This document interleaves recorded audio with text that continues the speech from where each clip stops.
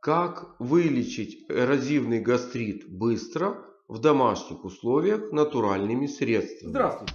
Приветствую вас на видеоканале Доктор Скачков. А я врач, фитотерапевт, диетолог, натуропат Борис Скачков. Автор более 50 опубликованных книг и брошюр в разных странах. Часть книг вы можете купить через интернет. А сегодня решил продолжить серию видео, что стоит делать, чтобы ваше время истекло позже и решил рассказать про лечение гастрита эрозивного. А точнее, как вылечить гастрит эрозивный быстро, в домашних условиях, натуральными препаратами. Часть людей знает, что у них есть эрозия в желудке и пытаются лечить гастрит эрозивный. С разными результатами, которые зависят от точки приложения основных усилий в лечении гастрита. Достаточно значительное количество людей даже не подозревают о том, что у них есть либо может быть эрозивный гастрит. Вместе с тем, его наличие легко предположить. По диагнозу, не связанному с желудком. Об этом вы также узнаете в этом видео. А часть людей, проводя самолечение, способствует тому, что у них могут возникать не только эрозии в желудке, но даже язвы желудка и рак желудка. И об этом вы также узнаете в этом видео. А также о возможности бесплатно вылечить эрозивный гастрит в домашних условиях. Лечить гастрит эрозивный или не лечить эрозивный гастрит? Если посмотреть на статистику смертности, эрозивный гастрит там отсутствует. И вроде как лечение гастрита эрозивного можно отложить до лучших времен. Возможно он и сам вылечится. Но эрозивный гастрит это серьезная проблема.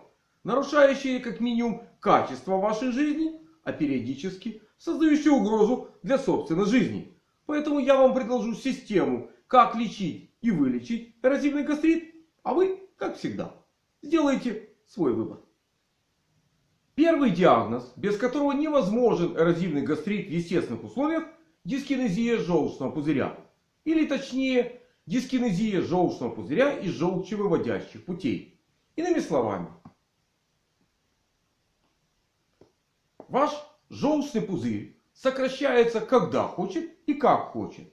А сфинктер Одди должен справиться с этим, но справиться не может. И в двенадцатиперстной кишке находится желчь как во время переваривания пищи, что и должно быть в норме, так и вне переваривания пищи, что уже создает возможность для образования эрозии в желудке. В случае, если у вас есть еще один диагноз, дуодено-гастральный рефлюкс, либо обратный заброс содержимого двенадцатиперстной кишки в желудок, принципе, дуоденогастральный рефлюкс есть у всех. Но если это физиологический дуоденогастральный рефлюкс, то содержимое 12-перстной кишки попадает в желудок всего на несколько секунд. И только тогда, когда ваш желудок выталкивает 12-перстную кишку переваренную пищу. В этом случае эрозии в желудке не появляются. А вот если желчь из желчного пузыря попадает в 12-перстную кишку и вне пищеварения в желудке попадает в желудок, вот тут и появляются эрозии в желудке. Если своевременно не вылечить дуодено-гастральный рефлюкс, появляется эрозивный гастрит. И начинаются поиски, как вылечить эрозивный гастрит. Если вы станете проводить лечение лишь эрозивного гастрита, такое лечение может быть достаточно продолжительным. А вот чтобы вылечить эрозивный гастрит в домашних условиях оптимально быстро, нужно справиться с дискинезией желчного пузыря и с дуодено-гастральным рефлюксом одновременно.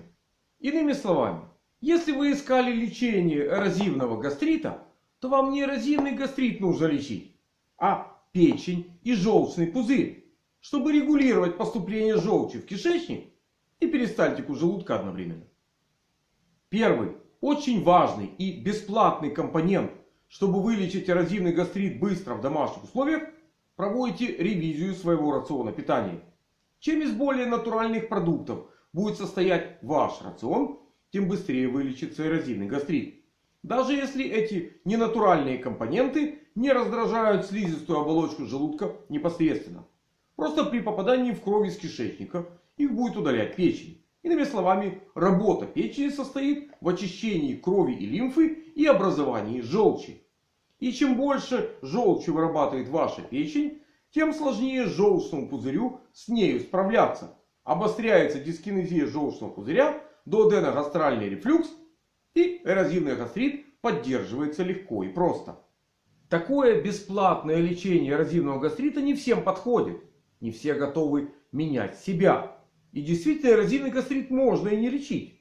Возможно самоизлечение от эрозивного гастрита. Правда, когда нарушится работа печени и снизится образование желчи. В печени обычно при этом появляется жировой гепатоз или жировое перерождение клеток печени или стеатогепатит. А будет у вас стеатогепатит алкогольный или неалкогольный, медикаментозный либо после перенесенного острого гепатита, это уже ваш выбор. И кажется, что это самое простое лечение эрозивного гастрита. Время лечит.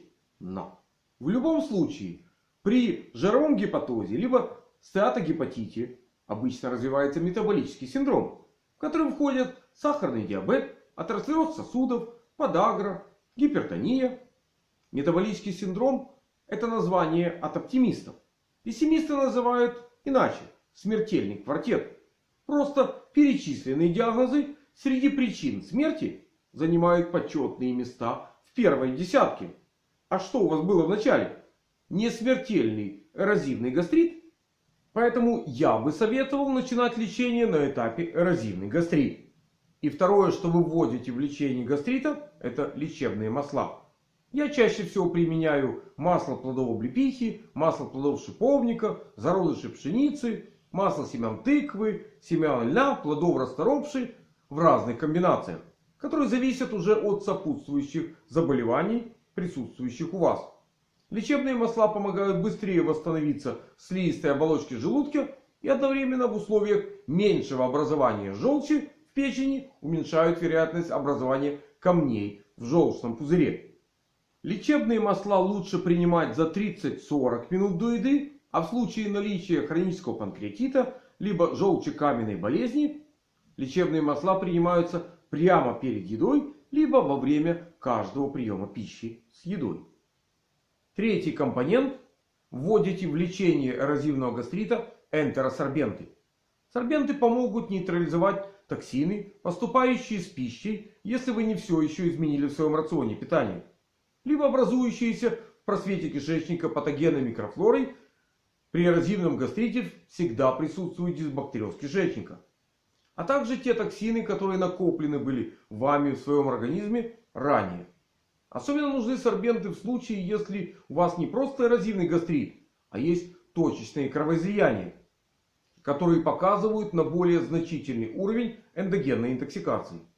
И в большей мере подходят не угольные, а кремний содержащие энтеросорбенты. Обычно энтеросорбенты назначаются на курс до 2-3 недель. И чаще всего за такой короткий срок полное очищение организма провести не удастся. Поэтому я предлагаю еще один энтеросорбент Fiber Boost, курс приема которого практически не ограничен. Чаще всего сорбенты принимают между приемами пищи с интервалом около 2 часов. Что создает определенные сложности как с приемом сорбентов, так и одновременно с соблюдением режима питания. Сорбент Fiber Boost можно принимать как во время еды, если вы еще не до конца уверены в качестве продуктов питания, так и вскоре после еды, минут через 30-40. И если произойдет дуоденогастральный рефлюкс, желчь попадет в сорбент. Четвертое. Нужно стимулировать секрецию желудочного сока. Даже если кислотность у вас не снижена. Не снижать кислотность нужно. Это распространенная ошибка. А стимулировать выделение желудочного сока. Привратник в желудке закрывается изнутри при наличии достаточного количества соляной кислоты в полости желудка. Иными словами, если базальная секреция сохранена, то есть в желудке вне пищеварения есть активный желудочный сок, вероятность дуодена-гастрального рефлюкса минимальна.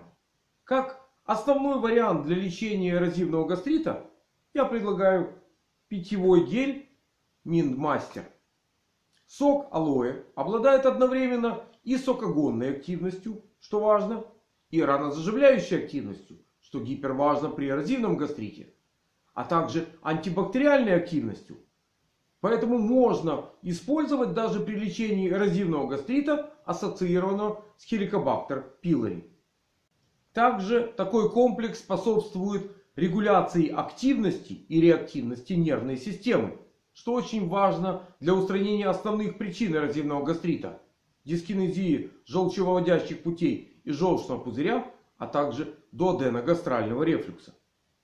Как правильно принимать питьевой гель с алоэ Минмастер, если вы проводите лечение эрозивного гастрита и хотите вылечить эрозивный гастрит в домашних условиях, тогда при сохраненной либо повышенной секреции желудочного сока лучше принимать после каждого приема пищи. Если же кислотность снижена, то лучше принимать перед приемом пищи. Главная задача не допустить, чтобы желчь попала в желудок между приемами пищи. Если принимаете перед едой, тогда за 5-10 минут.